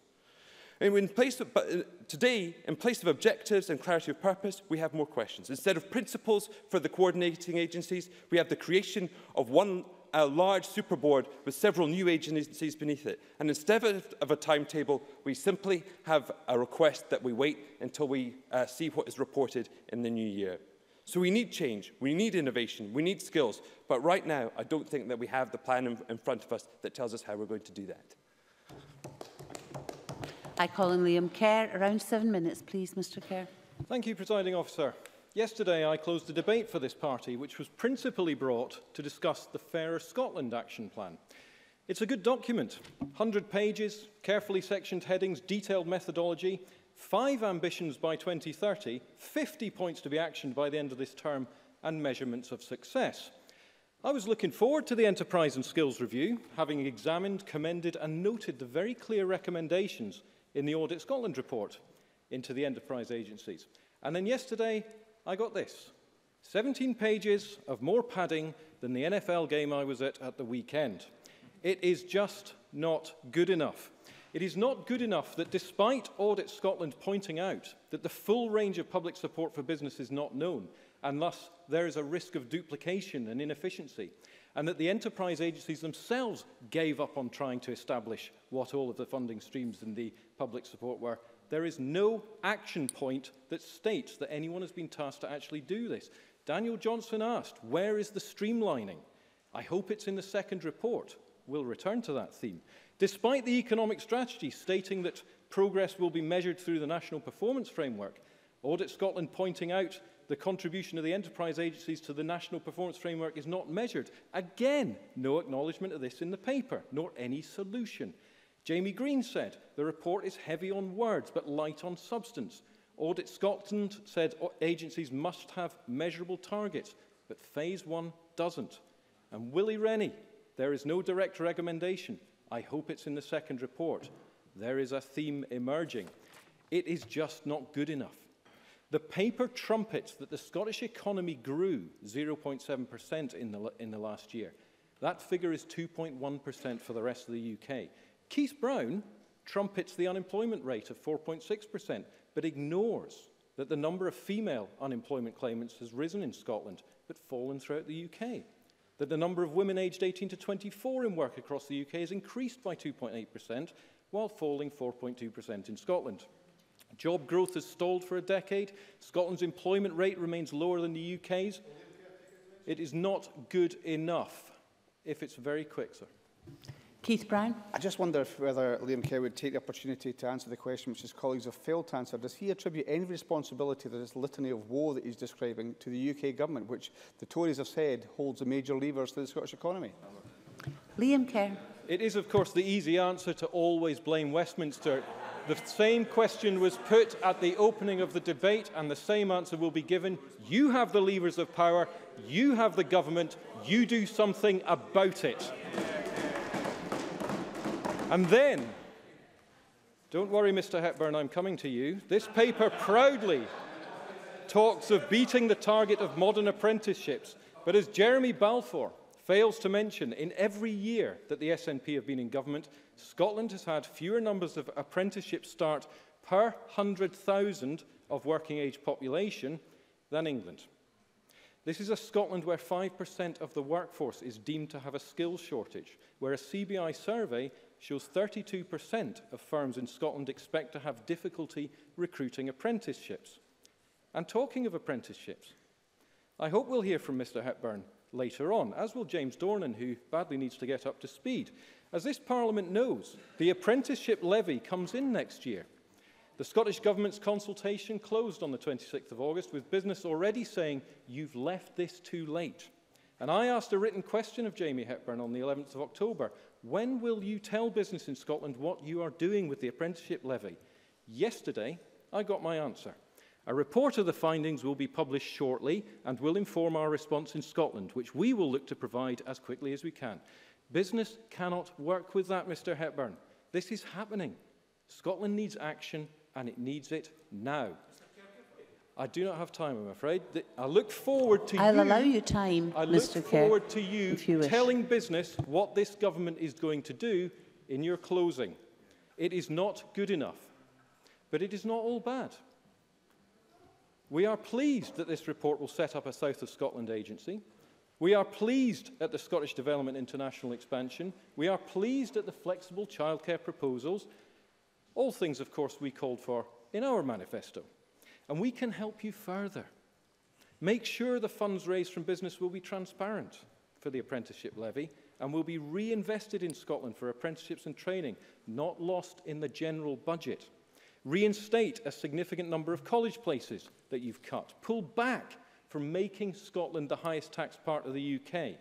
As Dean called for, when he called for specifics in the second report, have the enterprise agencies provide more non-financial support and designate some of the underperforming parts of Scotland as turnaround zones. It is clear that a robust, effective and modern enterprise and skills programme is needed in Scotland and we welcome the steps that this government are taking towards this goal. But the theme coming out of today's debate has to be it is not good enough. As speaker after speaker after speaker clamoured to say what is happening? What is happening in this phase two? Where are the targets? When are we going to have these things brought in? Even Ivan McKee admits that all the significant stuff is going to be in phase two. Building a strong economy, growing the jobs market, providing more apprenticeship places, and linking the worlds of work and academia with strong and measurable aims and desired outcomes must be at the heart of any review of enterprise and skills in Scotland, or else. It is simply more bluff and bluster from a government that is so out of ideas, so short of policy initiatives, it is stealing ours. Yeah, Thank you. Keith Brown, around nine minutes, please, Cabinet Secretary. thank you, President Officer. Just to say, I think, in relation to the last contribution that we had in, in relation to the apprenticeship levy, I don't know if the member is actually aware that the UK government, when it decided upon the apprenticeship levy, didn't tell the Scottish Government, didn't tell the business community, gave no warning to anybody, could answer no, questions on it once it was introduced for many months. So perhaps he should look to his own situation. It's also worth saying as well, of course, in Scotland, all of our apprentices are employed, unlike the situation uh, south of the border. Just worth bearing those points in mind. But I should say that the uh, closing remarks, as ever, the very helpful civil service had suggested some notes. One was to thank everybody for the positive contribution, so perhaps we'll dispense uh, with that uh, for the time being. In relation to, I'll try and go through some of the points raised by speakers if I can. Daniel Johnson, I think, started off actually re relatively constructive, and there's a great deal in what he initially had to say, which I would uh, agree with, uh, not least his point about reskilling being just as important about upskilling or skills being put forward in the first place. And um, as I say, he made a number of reasonable points, and I hope that some of the points, although he seems to suggest that he knows the statement I'm going to make before I make it, I think some of the questions that he asked will be answered in Phase 2. I should say that the idea of a Phase 2 is not just one which has been put forward by myself, but has been done so through the Ministerial Review Group and enjoys general support, uh, and that there are good reasons for that. Uh, James Dornan, I think, uh, uh highlighted the importance of education and skills, and also the, the absolute necessity for freedom of, of movement, not not least amongst EU nationals, and he's absolutely right in relation to that. I have to say that perhaps Jeremy Balfour's speech, having been in this Parliament for nine years, is one of the most truly depressing speeches I've heard in that nine years. An absolute litany of depressing, talking Scotland down. His statement that the economic situation that Scotland finds itself has got nothing to do with Brexit is an appalling abdication of responsibility for the Conservative, the greatest self-harm act in terms of our economy, I think we've seen from any government from Westminster, an absolutely appalling contribution. In relation to Ivan McKee's point, at least he talked in complete contrast to the likes of uh, Jeremy Balfour about ambition uh, and about the strengths that we currently have within Scotland. Of course, it's necessary. that We have to recognise what we have to do better, but we should also recognise the strengths that we have in order that we can build upon them. In relation to Willie Rennie, well, unfortunately, uh, Willie Rennie, I was a council leader when we had a Liberal Democrat administration here. I remember time after time been told by the Liberal Democrats what we had to spend our money on in local government. It was not a paradise of decentralised, no, not just now, it was not a paradise of decentralised powers from the government. So perhaps the Lib Dems should practice what they preach. And the idea that the city deals are a Lib Dem invention, not one city deal put in place by the Lib Dems during those eight years when they had the chance to do it. So perhaps you should Sit down, please, Mr Rennie. It's quite clear that the Cabinet Secretary is not giving way. In relation to the points by uh, Colin Smith, once again, a number of very good points, I think, made by uh, Colin Smith.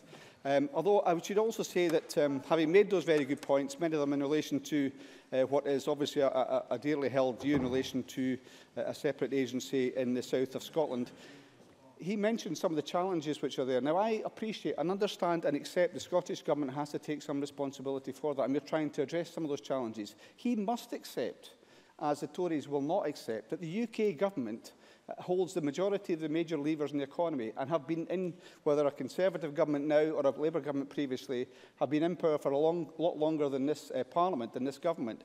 And in addition to that, local authorities, so uh, he's a member of a local authority, has to have a responsibility as well. So there'd be more credibility in, in saying what's been said if there was an acknowledgement of the different actors which are actually involved in local economies.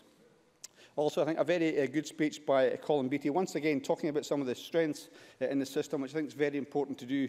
Uh, Jamie Green, I would say I, I agreed with many of his points in relation to uh, the need for digital inclusion. Uh, I don't think the digital divide is growing. I think there is a digital divide and we're doing what we can to try and address that, not least in relation to um, infrastructure, where there's a really, I think, ambitious plan uh, in seeking to try and deal with that. I do agree with them how important it is.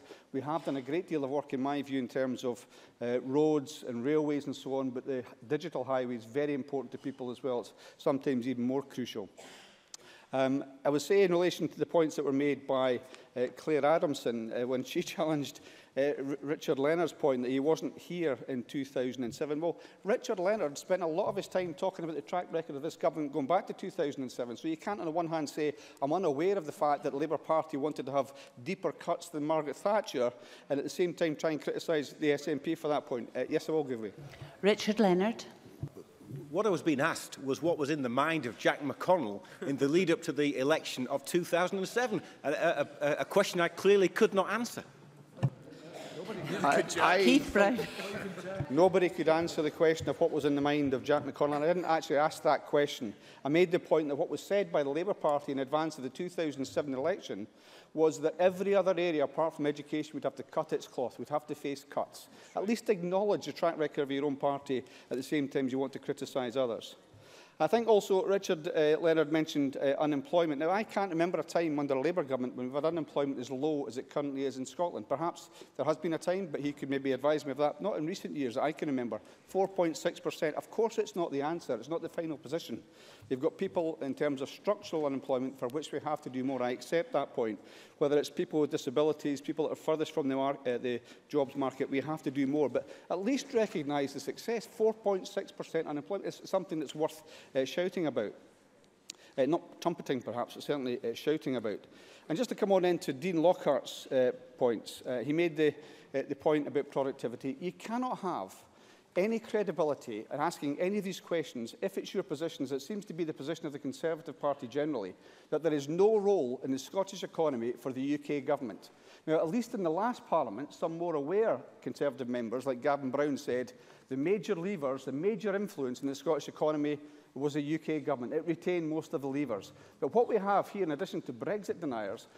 are people that are trying to say there is no role, there is no responsibility for the Conservative government in relation to the economy of Scotland. It's not a credible role. Perhaps you'll accept now that the UK government has some, credit, has some responsibility in relation to this.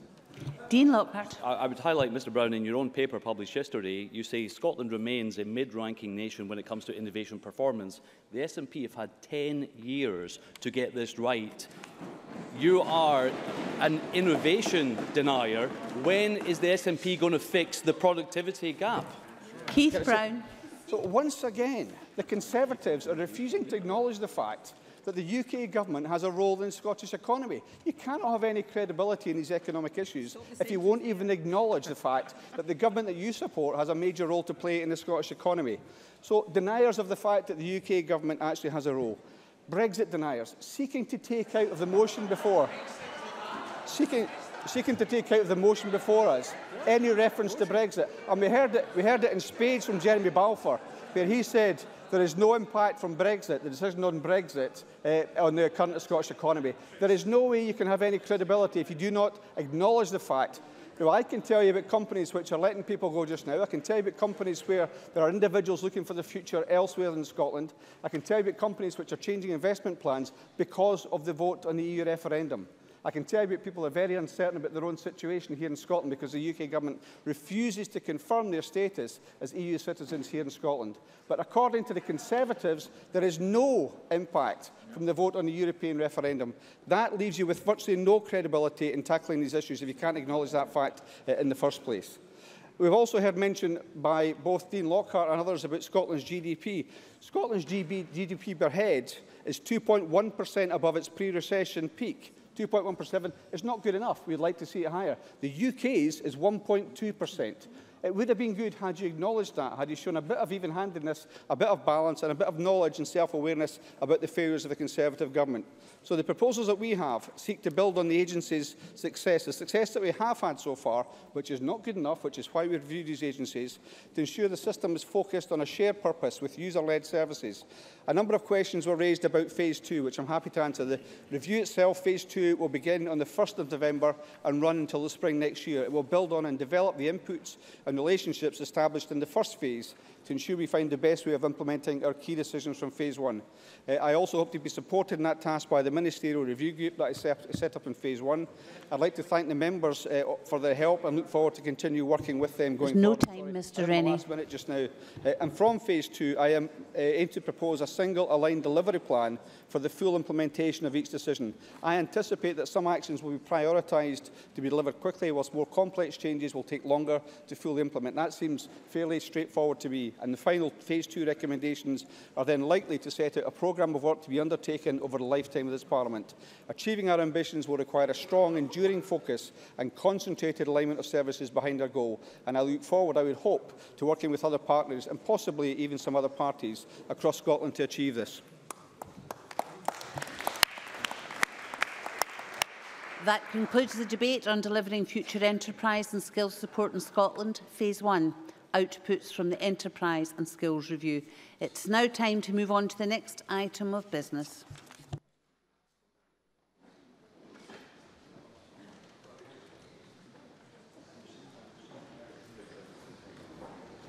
Thank you. The next item of business is consideration of motion 2106 in the name of Edward Mountain on behalf of the Rural Economy and Connectivity Committee on report on the Memorandum of Understanding of Ofcom, and I call on Edward Mountain to speak to and move the motion. Presiding Officer, the draft Ofcom Memorandum of Understanding sets out a proposed new relationship to be entered into by the Scottish and UK Government, the Scottish Parliament and the Office of Communications. It is delivered as a result of the Smith Commission Agreement, which states there will be a formal consultative role for the Scottish Government and the Scottish Parliament in setting Ofcom's strategic priorities with respect to their activities in Scotland. The Memorandum of Understanding contains a number of commitments in addition to this consultative role. These include a requirement for Ofcom to appear before the Parliament and for Ofcom to prepare their and lay their report and accounts in front of the Parliament. The Scottish Government will also have powers upon consultation with the Secretary of State to appoint a member of the Ofcom board. Ofcom will also consult with the Scottish Government in relation to the board points to MG Alba and appointments to Communications Communi Consumer Panel. At its meeting on the 28th of September, the Rural Economy and Connectivity Con Committee agreed to produce a report recommending to the Scottish Parliament that it gives its approval to the memorandum. I would urge the members to support the motion in my name on behalf of the committee, noting its report at decision time. Thank you. Thank you. And the question on this motion will be put at decision time. Uh, the next item of business is consideration of a legislative consent motion. I would ask Fiona Hislop to speak to and move motion 1869 on the Cultural Property Armed Conflicts Bill.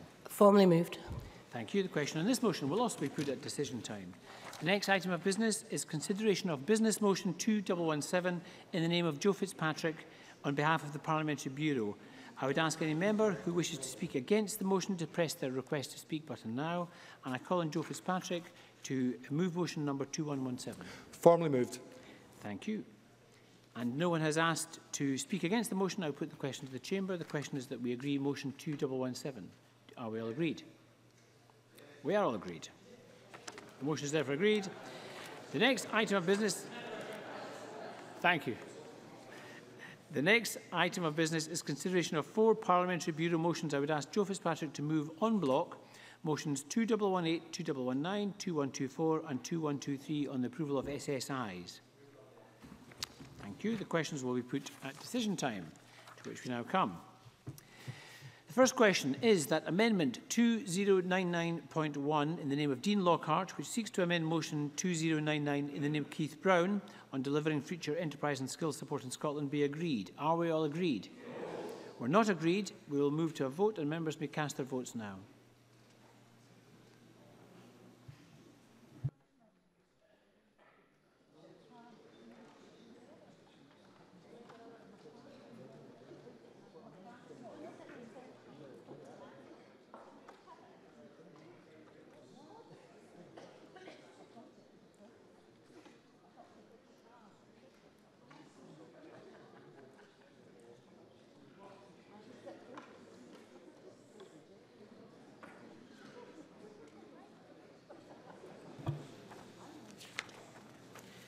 The result of the vote on Amendment 2099.1 in the name of Dean Lockhart is as follows. Yes 30, no 95. There were no abstentions. The amendment is therefore not agreed. The next question is that Amendment 2099.3 in the name of Richard Leonard, which seeks to amend Motion 2099 in the name of Keith Brown, be agreed. Are we all agreed? No. We are not agreed. We'll move to a vote and members may cast their votes now.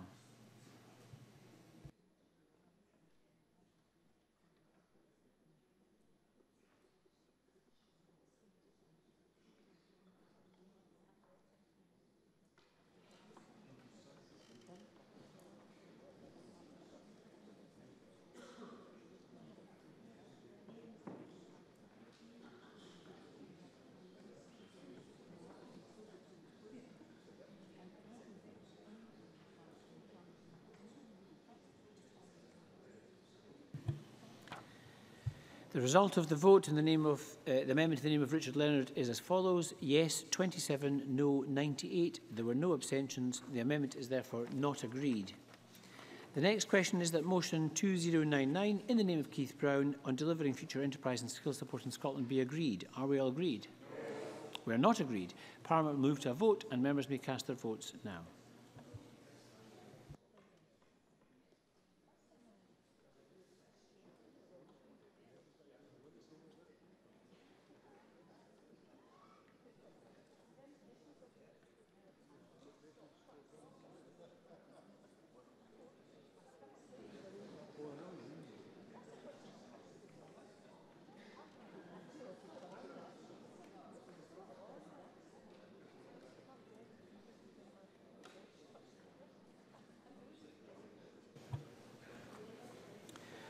The result of the vote on motion number 2099 in the name of Keith Brown is as follows. Yes, 84. No, 35. There were six abstentions. The motion is therefore agreed. The next question is that motion 2106 in the name of Edward Mountain on behalf of the Rural Economy and Connectivity Committee on report on the Memorandum of Understanding of Ofcom be agreed. Are we all agreed? Yes. We are all agreed. The next question is that motion 1869 in the name of Fiona Hislop on the Cultural Property Armed Conflicts Bill be agreed. Are we all agreed? We are all agreed. I propose to ask a single question on Parliamentary Business Bureau motions 218, 219, 2124 and 2123. If any member objects to a single question being put, please say so now. No member has objected. Therefore, question is that motions 2118, 2119, 2124 and 2123 in the name of Joe Fitzpatrick be agreed. Are we all agreed? Yes. We are all agreed. That concludes decision time. I now allow a short pause while we move to members' business.